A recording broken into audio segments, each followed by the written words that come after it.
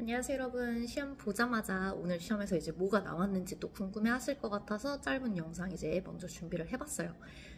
우리가 수업 시간에 맨날 얘기하는 내용들이 많이 나왔기 때문에 여러분들이 어, 너무 긴장하지 않고 평상시에 잘 공부한 대로 연습한 대로 문제를 풀었다면 그래도 쉽게 맞힐 수 있는 문제들이 꽤 있었거든요. 우리 인칭대명사 공부하면서 항상 답으로 가장 많이 나오는 게 이제 소유격이다. 그래서 이제 명사 앞에 소유격 쓸 수 있는가 물어보는 문제. 여러분들이 주교재랑 부유에서 제일 많이 연습을 하시는데 그대로 출제가 됐었고. 그리고 제가 인문반이랑 왕기초반에서 학생들이 가장 많이 하는 실수라고 언급하는 게 뭐냐면 빈칸 앞에 조동사가 있을 때 이 조동사만 보고 동사 원형을 찍어버린단 말이에요.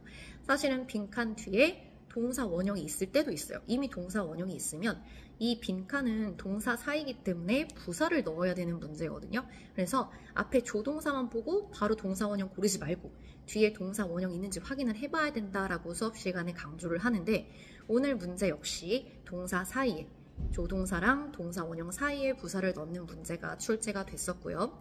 또 우리 조금 헷갈릴 수 있지만 어, 부교재에서 추가적으로 연습했었던 문제 중에서 노랑 낫의 차이 구분하는 거 했을 거예요. no는 형용사기 때문에 명사를 꾸며줄 수 있고 not은 부사기 때문에 명사 말고 다른 거 꾸며줄 수가 있다. 그래서 뒤에 이제 명사가 있을 경우에는 not이 아니라 no를 써야 된다라는 문제 우리가 부교재에서 풀어봤었는데 오늘 시험에서 역시 no랑 not의 차이를 물어보는 문제가 그대로 출제가 되었기 때문에 그때 부교재 문제 푸실 때는 여러분들이 많이 틀렸을 거예요. 우리가 보통 no랑 not을 부정을 하는 건 알고 있지만 품사 정리는 제대로 안 하잖아요. 그쵸? 근데 이제 부교재에서 했던 게 기억이 나셨으면 오늘은 또 맞힐 수 있었을 거고요.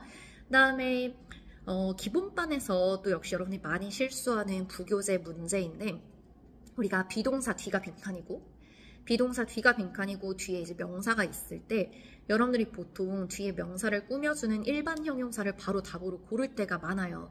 그게 답일 수도 있죠. 근데 이제 be동사 뒤가 빈칸일 경우에는 이게 빈칸에 ing를 넣어서 be 플러스 ing가 하나의 동사고 그 뒤에 명사를 목적어로 써야 말이 되는 문장이 역시 또 있단 말이에요.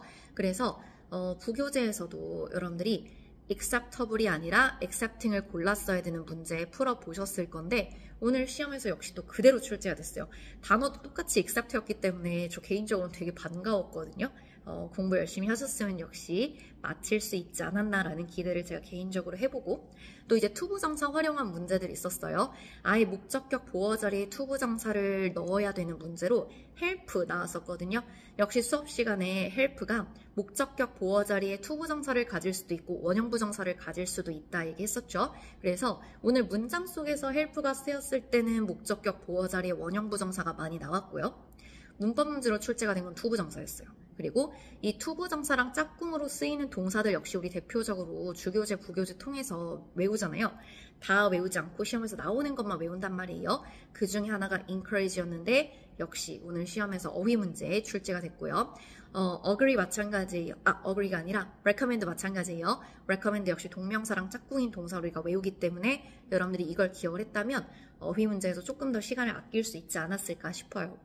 이 이외에도 제가 이제 파트 7에서 동의어 하나만 또 언급을 할 건데 우리 인문반 교재에서 정확하게 및 공부하거든요.